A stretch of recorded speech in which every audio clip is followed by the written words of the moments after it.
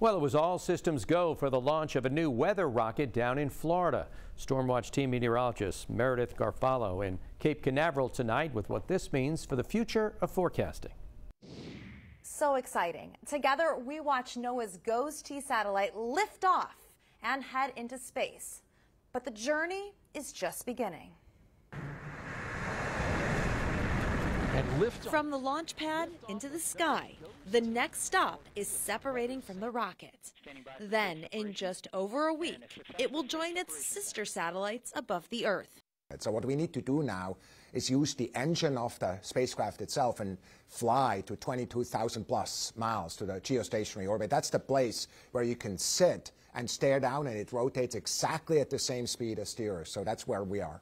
The team of GOES West and East will monitor and capture everything from snowstorms to tropical systems to even wildfire smoke that impacts us here across the Northeast.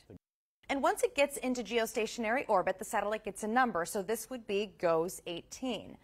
And then they're going to swap it out with our current GOES West satellite, which watches over the entire Western Hemisphere. So for your Stormwatch team meteorologist, that helps us keep an eye on and get more information on storm systems that are approaching the tri-state region.